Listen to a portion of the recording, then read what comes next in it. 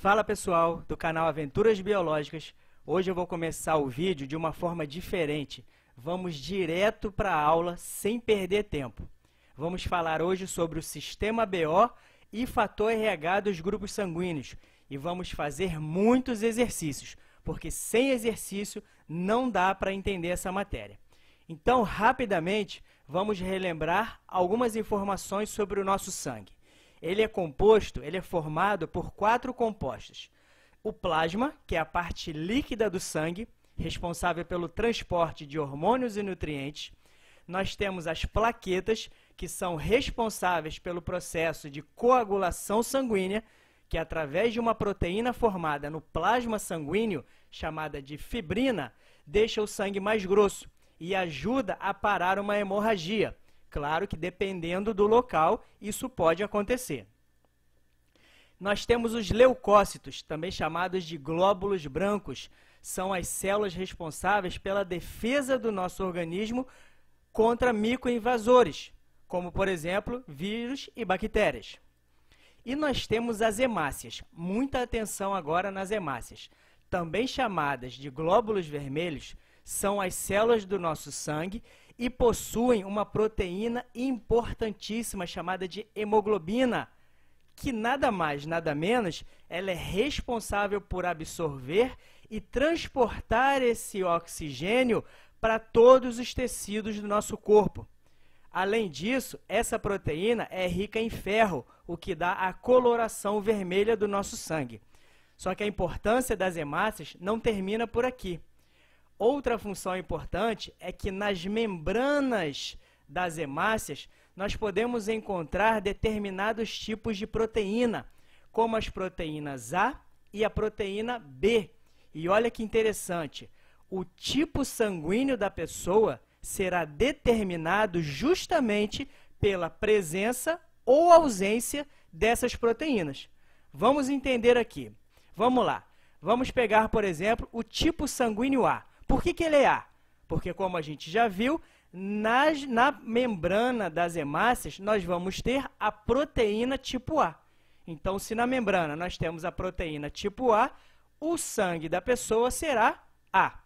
Lembrando, essa proteína também pode ser chamada de antígeno ou aglutinogênio. Daqui a pouco a gente vai falar sobre isso. Vamos continuar. O sangue tipo B, por quê? Porque na, ema, na membrana das hemácias nós temos a proteína tipo B. No sangue tipo AB, nessa, na membrana existem as duas proteínas, proteína A e B. Por isso que o sangue da pessoa é AB. E no sangue tipo O? No sangue tipo O, na membrana das hemácias, não existem essas proteínas. Então, sem essas proteínas, o tipo sanguíneo será O. Você já ouviu falar em aglutinação sanguínea? Numa transfusão de sangue, ou quando tipos sanguíneos são compatíveis ou não, isso tem que ter uma atenção enorme. Quando não há uma compatibilidade sanguínea, esse processo de aglutinação é muito perigoso, porque é uma reação entre o antígeno, que é a proteína, e o anticorpo, que é um sangue desconhecido que entra no nosso organismo. Então, isso gera um, uma, uma coagulação, o sangue fica mais grosso e isso pode entupir alguns vasos sanguíneos. Então, é muito importante saber dessa compatibilidade sanguínea. Então, preste atenção. Já vimos que essas proteínas estão localizadas nas membranas das hemácias. No plasma sanguíneo, nós temos os anticorpos, ou aglutinina, que é o que vai reconhecer a proteína que está chegando. Então, vamos lá. Se eu tenho um tipo sanguíneo A, é porque eu tenho a proteína A. Então, qual será o meu anticorpo? Anti-B. Porque se eu receber um sangue tipo B, é incompatível com a minha proteína A. Então, isso vai aglutinar. No caso do sangue tipo B, a proteína sendo B, o meu anticorpo será o quê? Anti-A. Eu não posso receber o sangue tipo A se, eu, se o meu sangue for tipo B. Agora, olha que legal. Se o meu sangue for AB, é porque eu tenho as duas proteínas. Então, não pode existir, não podem existir anticorpos no plasma sanguíneo do tipo AB, senão eu não vou poder receber sangue nenhum. Então, o tipo AB não possui anticorpos. Então, eu posso receber de qualquer tipo sanguíneo. E o sangue tipo O tem que ter uma tensão gigante, porque como ele não tem essas proteínas, ele não pode receber um tipo sanguíneo que contém essas proteínas. Então, ele é anti-A e anti-B, ou seja, ele não pode receber de A e não pode receber de B. Eu vou mostrar daqui a pouco um, uma gravura, uma, uma ilustração informando isso. Um detalhe, estamos falando apenas do sistema ABO, dos tipos sanguíneos, das letras. Daqui a pouco nós vamos acrescentar o fator RH a essa transfusão, tá? Aí a gente vai ter o positivo e o negativo, que também tem as suas particularidades. Por enquanto, são só as letras. Então, vamos entender essa parte de transfusão sanguínea. Pega um papel, ou depois faz isso, e você vai escrever as seguintes letras. O, A, B e AB. Nada mais são do que os nossos tipos sanguíneos. Então, muita atenção. Respeitando as proteínas ou as ausências dela, o sangue tipo O, como não tem essa proteína, só pode receber de O. O sangue tipo A, já que tem a proteína A, pode receber de do tipo A e do tipo O. Já que ele não tem proteínas, ele pode doar para quem tem. O sangue tipo B pode receber sangue do tipo B, dele mesmo, e também do sangue tipo O. Legal? Agora, o sangue tipo AB, como tem as duas proteínas, ele pode receber de todo mundo. Dele mesmo, pode receber de O, pode receber de A e pode receber de B. Nessa classificação aqui, nós temos duas é, informações importantes.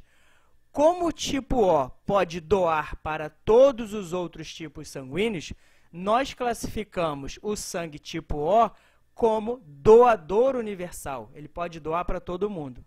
E o sangue tipo AB, como recebe de todo mundo, ele é o receptor universal.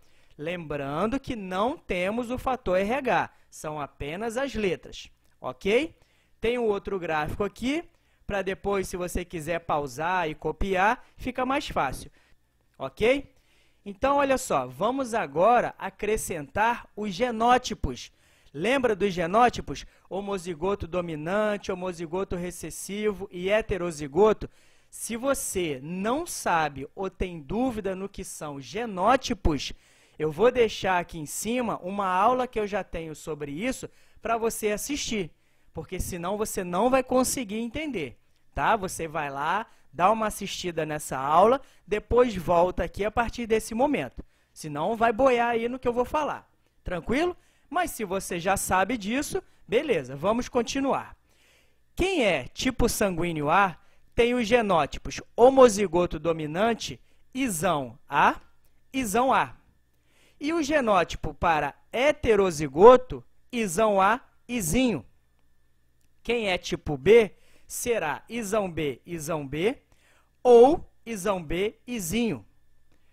O tipo AB será isão A, isão B. E o tipo O será sempre recessivo, izinho, izinho. Vamos colocar isso aqui em prática. Vamos fazer o nosso primeiro exercício de sistema BO. Cruzando-se uma mulher tipo A heterozigoto com um homem tipo O. Qual a probabilidade de nascer um filho tipo O? Então vamos lá. Mulher tipo A é heterozigoto. Nós já sabemos que heterozigoto para o tipo A é isão A izinho. Que eu vou cruzar com o sangue tipo O, que será izinho izinho. Lembra do quadro de Punnett? Mais uma vez, se não sabe fazer isso, se tem dúvida em resolver e confeccionar um quadro de Punnett, também vou deixar aqui um link para você ir direto para essa aula, para você aprender a fazer isso aqui e depois volta para não se embolar. Se você já sabe, vamos continuar. Montando o quadro de Punnett, vamos pegar esse primeiro genótipo aqui e vamos separar isão A, izinho. E esse segundo genótipo, que é do homem, colocar aqui, ó, izinho, izinho. Fazendo o cruzamento, aqui nós teremos isão A, izinho, e aqui nós teremos isão A, izinho. Embaixo, izinho com izinho, também izinho com izinho. Qual a probabilidade? Respeitando que cada gene desse, cada formação dessa equivale a 25%, nós temos um total de 50%. Da onde você viu isso, professor? Aqui, ó, 25% daqui e 25% daqui. Eu tenho 50%. Se quiserem colocar em fração, nós teríamos 2 quartos, que simplificando dá 1 meio. Então, essa é a probabilidade para filhos do tipo O para esse casal. Vamos fazer mais um? Aqui. E se a mãe fosse pura, homozigoto? Então, vamos lá. Puro homozigoto para tipo sanguíneo A é isão A, isão A. Que vai cruzar com o mesmo tipo sanguíneo O, izinho, izinho. Preparando o quadro de Punnett, isão A, isão A, com izinho, izinho.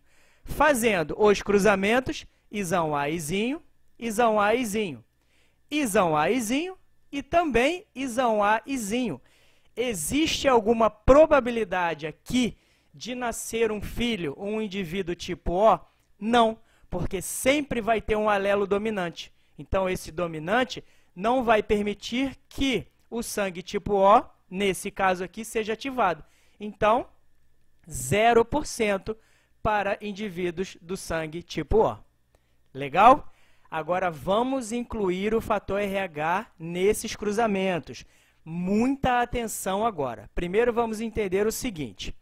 Lembra dos genótipos para o sistema ABO? Agora vamos acrescentar o fator RH.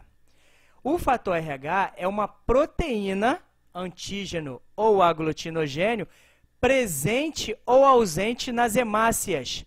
Se essa proteína estiver presente, o indivíduo será positivo.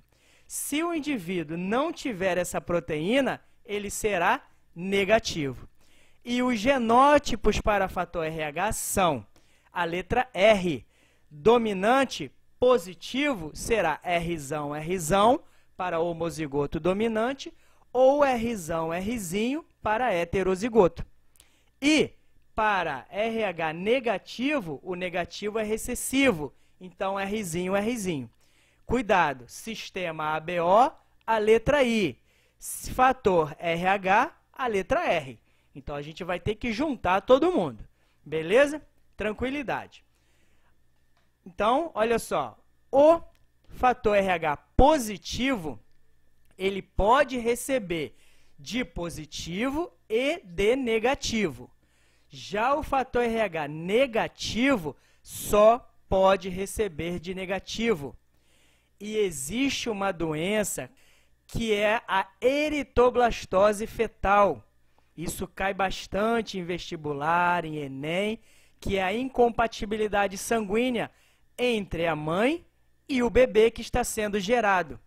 Olha só, se a mãe for negativa e receber uma transfusão, um tipo sanguíneo positivo, o primeiro contato, já que o negativo não pode receber do positivo, se isso acontecer pela primeira vez, o corpo da mulher vai entender isso como um corpo estranho. Então, vai aparecer, vai ser criado no sistema imunológico anticorpos de defesa. Então, no primeiro contato, existe a produção de anticorpos.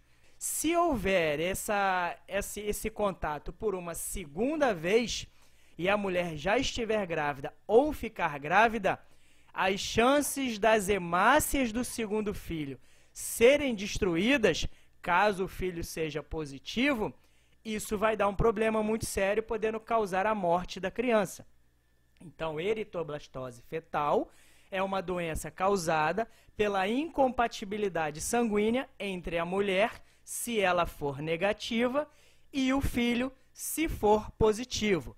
Existe um tratamento que se faz antes da, da gravidez para poder que isso não acontecer, mas você, as mulheres têm que ficar atentas a isso, tá bom? Então vamos lá, vamos fazer um primeiro exercício aqui, facinho, moleza, sobre transfusão sanguínea. Lembrando que agora a gente tem o fator RH com o sistema BO. Para dar uma cola aqui bonita, para a gente poder fazer legal, vou colocar aqui ó, a parte das transfusões, das compatibilidades, do sistema BO e do fator RH. Vamos ao exercício. Um banco de sangue possui 10 litros para A negativo, 10 litros para A positivo, 10 litros para O negativo, 10 litros para O positivo e 10 litros para AB positivo. Primeira letra A aqui. Quantos litros disponíveis para uma pessoa O negativo? Se fosse apenas O, O só recebe dele mesmo. Então, eu tenho aqui ó, 20 litros de O. Só que, olha como o fator RH é importante ele é O negativo. Negativo só recebe dele mesmo. Então, O só pode receber de O e negativo só de negativo. Então, quantos litros disponíveis eu tenho para O negativo? Aqui o O negativo, apenas 10. Então, eu tenho 10 litros para O negativo. E se a pessoa for A, pode receber de A e de O.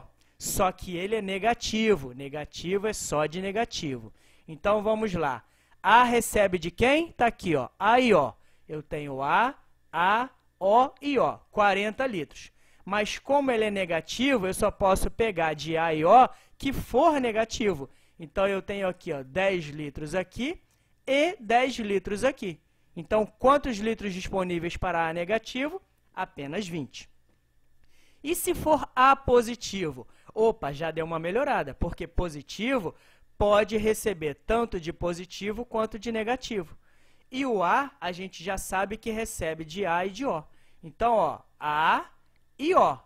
Pode receber de AB? Não, nunca, jamais, porque o sangue tipo AB tem a proteína A e AB. Então, se a proteína B entrar em contato com a proteína A, vai dar coagulação sanguínea, não pode. Então, A só pode receber de A e O. Então, ó, A e O sendo positivos, eu posso receber de todo mundo. Então, eu tenho 10, 20, 30, 40 litros para o A positivo. E o AB positivo? AB recebe de quem? De todo mundo. E ele ainda é positivo. Nossa, pode receber de todo mundo mesmo. Então, eu posso receber 10 litros aqui, aqui, aqui, aqui. Ou seja, o AB positivo recebe de todo mundo. Então, ó, no banco de sangue aqui, eu tenho 50 litros disponíveis para ele. E agora uma pessoa que é B negativo. B só recebe de quem? De B e de O. Negativo, só dele mesmo. Então, ó, vamos ver onde é que está aqui B e O. Eu tenho tipo B? Não, só tenho tipo O. E ele é negativo, eu só tenho essa possibilidade aqui, ó. 10 litros de O negativo. Então, eu tenho aqui 10 litros disponíveis. Beleza? Entendemos isso? Agora, vamos levar todo esse conhecimento para os heredrogramas. Vamos fazer aqui uns dois ou três exercícios. Nossa, isso tudo? Pois é, quanto mais exercício você fizer, mais você vai aprender. Muita atenção, vou fazer bem devagar.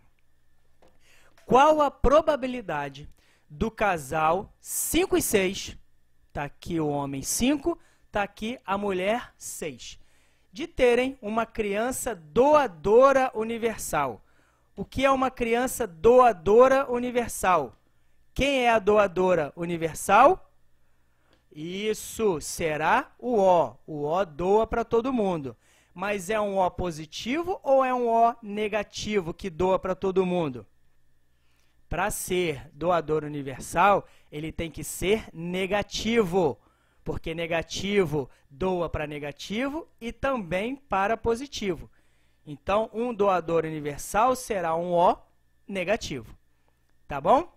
Então, vamos lá. Então, eu preciso saber os genótipos do número 5 e do número 6. Mas, para isso, nós temos que saber de onde vieram essas características. Então, vamos lá, um por um, bem devagar. O sangue tipo AB positivo, para o sangue tipo AB, eu tenho os genótipos isão A e isão B, para as letras. E para o fator RH positivo, ele pode ser Rzão, Rzão, porque o positivo é dominante, ou Rzão, Rzinho. Então, ele será isão A, isão B, Rzão, Rzão, ou isão A, isão B, Rzinho, Rzinho. Só que eu não preciso saber disso aqui agora, tá? Eu preciso saber o que ele vai doar para o número 5, que é o seu filho. E a esposa do número 1, ela é O negativo. Ah, isso é fácil. O é Izinho, Izinho, e RH e fator RH negativo é Rzinho, Rzinho. O pai aqui da outra família também é O negativo. Izinho, Izinho, Rzinho, Rzinho. E a mãe da outra família também será Isão A, Isão B, para o tipo sanguíneo AB. E o fator positivo, Rzão, Rzão ou Rzão, Rzinho. Então, essas são as possibilidades dos genótipos dos pais 1 e 2 e dos pais 3 e 4. Agora, vamos saber o que os pais vão doar especificamente para cada filho. Então, vamos prestar atenção. Sangue tipo B. Quais os genótipos possíveis? E por o B, ele pode ser isão B, isão B, que é o homozigoto dominante, ou isão B, izinho, que é o heterozigoto. Então, vamos fazer primeiro, vamos saber primeiro se ele vai ser isão B, isão B ou isão B, izinho. O pai é isão A, isão B. Opa, então o B daqui ó, veio do pai. A mãe só pode doar o quê? Izinho. Então, não tem como esse rapaz aqui ser isão B, isão B, porque a mãe jamais vai doar o alelo isão B. Então, ele será heterozigoto para o sistema B. Isão B veio do pai e o izinho veio da mãe. Beleza. Agora vamos descobrir o fator RH. Se será Rzão, Rzão ou se será Rzinho, Rzinho. O pai pode doar Rzão, mas também pode doar Rzinho. Mas como ele é positivo, ele obrigatoriamente, esse filho aqui, precisa ter o alelo dominante Rzão. Então, o Rzão vai vir de quem? Do pai. A mãe pode doar Rzão? Não pode, porque ela é fator RH negativo. Ela só tem Rzinho para doar. Então, esse positivo aqui será heterozigoto. Então, o genótipo desse filho B positivo será Isão B, Izinho, Rzão, Rzinho. Tranquilo? Agora, tá aqui, ó, Isão B, Izinho, Rzão Rzinho. Esse é o genótipo para o indivíduo número 5. Agora vamos para a filha do outro casal, que é a esposa do, do rapaz do número 5. Essa linda menina aqui, ela tem o tipo sanguíneo A negativo. Possibilidades para o tipo A, isão A, isão A, ou isão A, izinho. Vamos resolver logo isso aqui? Esse isão A veio da onde? Da mãe que ela é isão A, isão B, o isão A veio para cá. E o outro alelo, será dominante ou será recessivo? Da onde veio o outro? Do pai. O pai só pode doar izinho, porque o pai é recessivo. Então, esta bela menina será o quê? Isão A, izinho. Isão A veio da mãe, izinho veio do papai. E para o fator RH, A é negativo, moleza, Rzinho, Rzinho. Qual será o, o genótipo desta menina? Será isão A, izinho, Rzinho, Rzinho. Agora, para tudo que você estiver fazendo, e preste muita atenção. Até resolver isso é fácil, moleza. Agora vem o grande detalhe do exercício. Vamos lá. Peguei, deixa eu voltar aqui vou pegar o genótipo do B positivo e vou pegar o genótipo do A negativo, que são o casal. E eu vou cruzar esses dois. Isão B, Izinho, Rzão, Rzinho, com o Isão A, Izinho, Rzinho, Rzinho. Num passe de mágica, pum, estamos aqui. Isão B, Izinho, Rzão, Rzinho, que vai cruzar com Isão A, Izinho, Rzinho, Rzinho. Como é que a gente faz isso, professor? Meu Deus, não sei. Moleza! Temos o genótipo do menino e o genótipo da menina. Nós precisamos, antes de fazer o quadro de Punnett, mostrar aqui, destrinchar todas as possibilidades desse cruzamento. Se não fizer isso, pode ficar complicado. Então, vamos aprender a fazer isso, que é a parte mais importante. Se errar aqui, já era. Você pode ter feito aquilo lá tudo certo, mas aqui se errou, já era. Como a gente vai fazer isso? Nós vamos pegar o primeiro alelo da letra do, A, do B e vamos juntar com o primeiro alelo do fator RH. Então, nós vamos ter isão B, Rzão. Está aqui. Formamos o primeiro gene. Depois, nós vamos pegar este primeiro alelo e cruzar e juntar com o segundo alelo do fator RH. Isão B, Rzinho. Está aqui. Agora, eu vou pegar este alelo aqui do sistema ABO, que é o Izinho, e vou juntar com o primeiro alelo do fator RH, que vai ficar Izinho Rzão. Ih, mas eu aprendi que no quadro de Punnett, primeiro coloca o dominante, depois o recessivo. E você está corretíssimo. Só que ainda não estamos fazendo o quadro de Punnett. Estamos apenas destrinchando, resolvendo as possibilidades disso aqui. Então, nós podemos deixar, neste momento, o recessivo na frente, tá? E para finalizar, a gente vai pegar o recessivo daqui e vai juntar com o segundo alelo do fator RH. Nós teremos, moleza? Agora vamos fazer isso da menina. Vamos pegar o primeiro alelo desse gene e juntar com o primeiro alelo desse gene. Nós temos o quê? Isão Rzinho. Repare, se eu pegar o primeiro e juntar com o segundo do outro gene, vai ser a mesma coisa. Então, não precisa colocar de novo. Tá? Vamos simplificar a nossa operação. E pegando agora o segundo alelo do primeiro gene, do ABO, nós temos o izinho. E vamos juntar com o primeiro do fator RH. Izinho, Rzinho, está aqui. E mais uma vez, se eu fizer de novo, ele vai se repetir. Não precisa, tá? Então, destrinchamos aqui e destrinchamos aqui. Como vamos fazer isso? Para o nosso querido quadro de Punnett. Reparem, Aqui eu tenho quatro possibilidades e aqui eu tenho duas.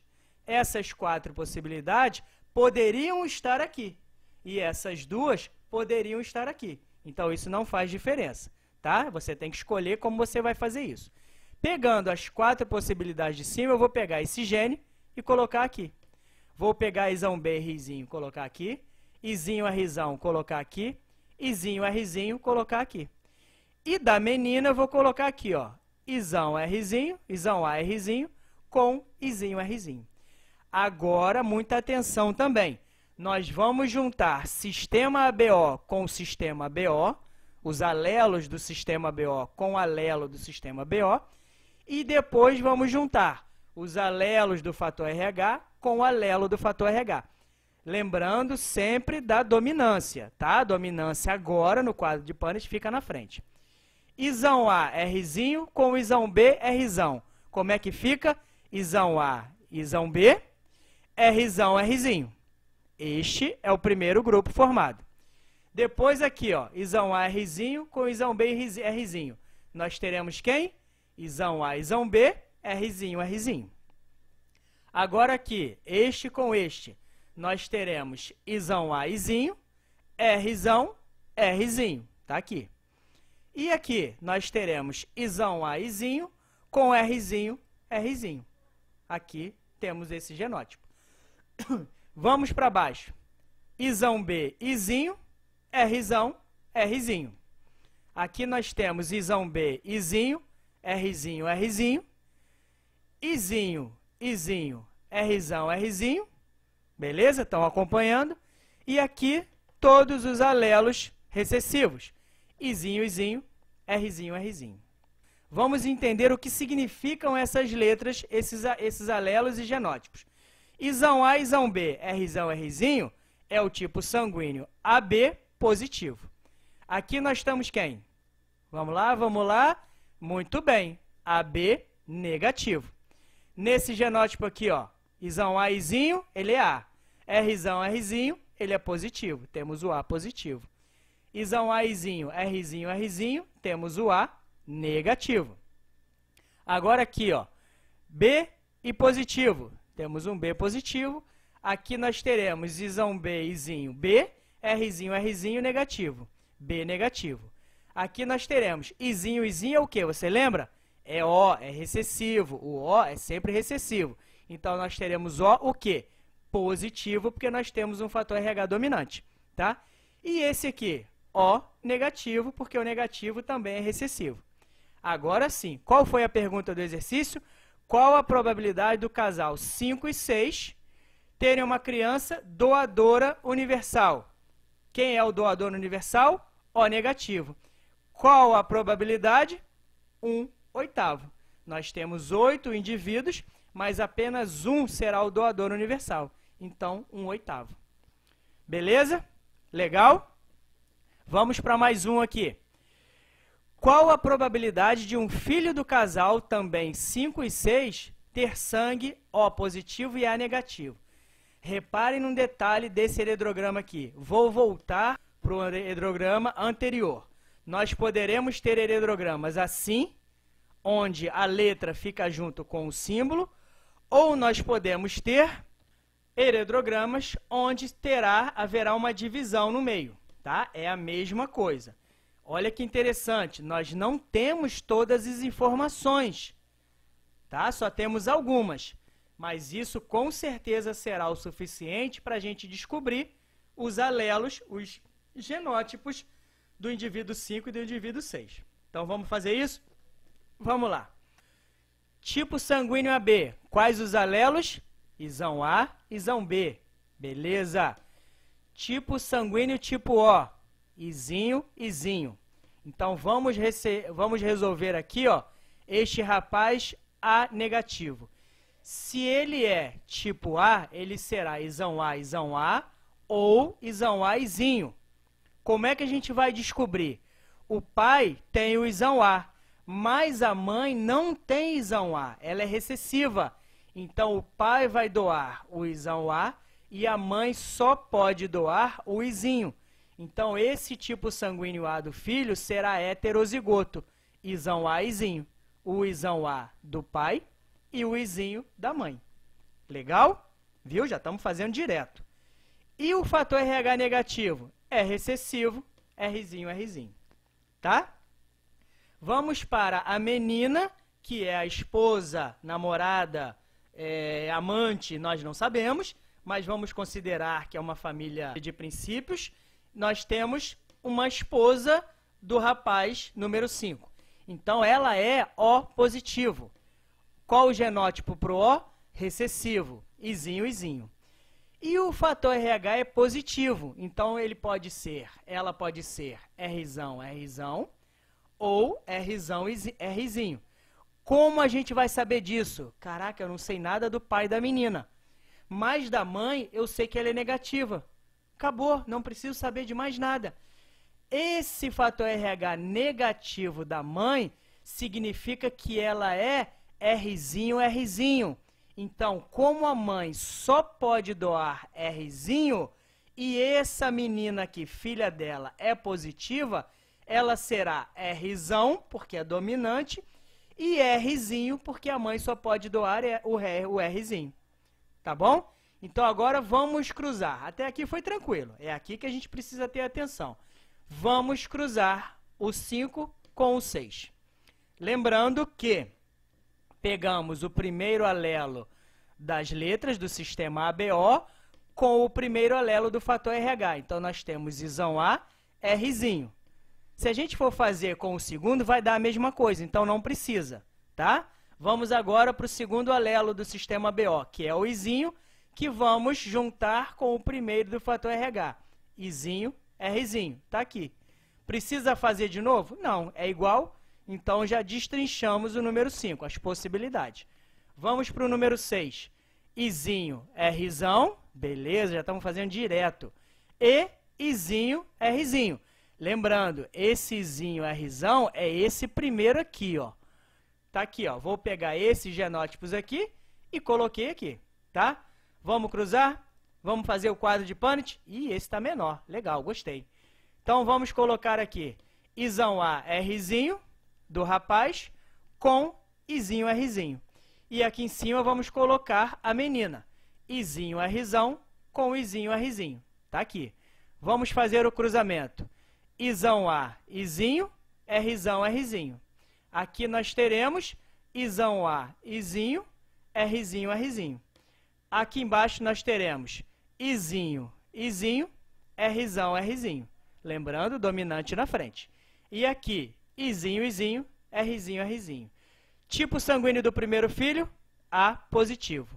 Do segundo, A negativo. Do terceiro, O positivo. E do quarto, O negativo. Qual foi a pergunta? Qual a, a probabilidade dos filhos do casal 5 e 6 terem é, filhos com sangue O positivo e A negativo? Qual a probabilidade para o sangue O positivo? Tan, tan, tan, tan. Aonde estamos? Aqui, ó. O positivo. Temos 25% ou um quarto de probabilidade para filhos do sangue O positivo. E sangue A negativo? Nós temos dois aqui, ó, A positivo e A negativo. Eu só quero o A negativo. Então, ó, A negativo está aqui, ó. A negativo. Também 25% ou um quarto. Tranquilo? Espero que vocês tenham gostado. Espero que tenha resolvido é, o problema, as dúvidas de vocês. Se gostaram, deixa um like. Isso é muito importante, clicar em gostei ativem o sininho para novos vídeos, se inscrevam no canal e nosso próximo vídeo nós vamos falar sobre síntese proteica, os processos de replicação, transcrição e tradução de proteínas. Muito importante, proteína toda hora produzindo. Então, obrigado e até o próximo vídeo.